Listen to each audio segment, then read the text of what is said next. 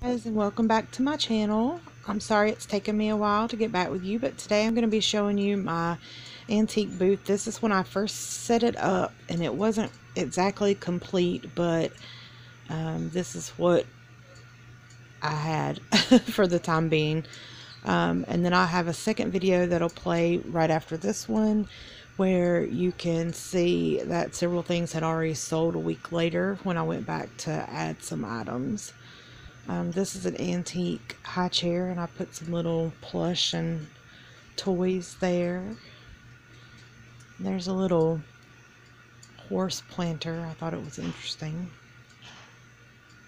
Um, there I am. It was very hot in there that day. So I have some South Carolina items, willow tree,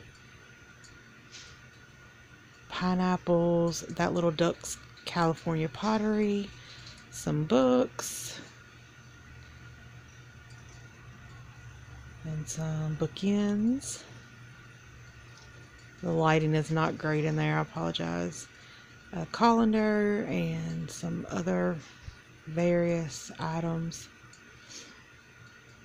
I'm using their shelving right now, but I'm hoping to change up some of that soon.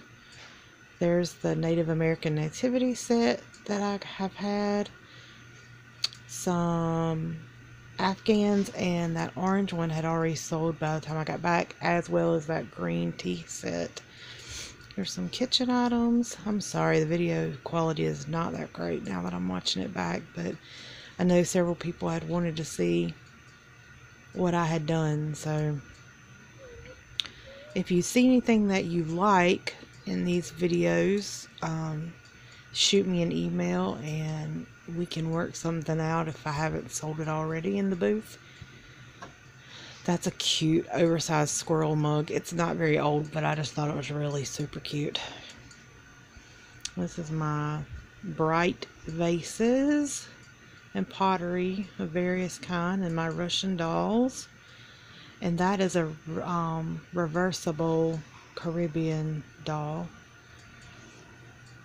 There's some carnival glass and some other vases. A marble egg. I think it's marble. I can't remember. I'm so sorry. This quality. Pretty horse. Vases. Here's some glassware. That's a little Pyrex glass dish in the back.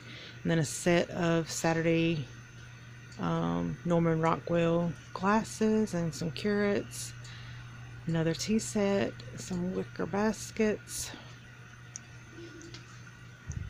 Oh goodness, I'm making myself dizzy. Um, that S had sold when I came back also, as well as that Dick and Jane book and a few other things. so coming up is the next video when I came back and I filled in the gap with some things, added some stuff from where things had sold. Those are some pottery mugs. They're really nice. And I moved um, that one tea set had sold. I added a cream and sugar up there and another mug. There I am again. Um, added a few things there.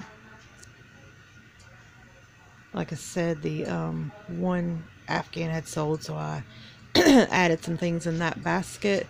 I added this magazine rack. I'm going to really have to work on moving slower. Sold that Dick and Jane book. Sold the big S.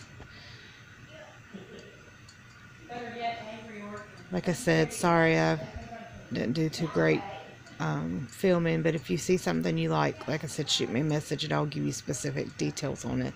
Thanks for watching.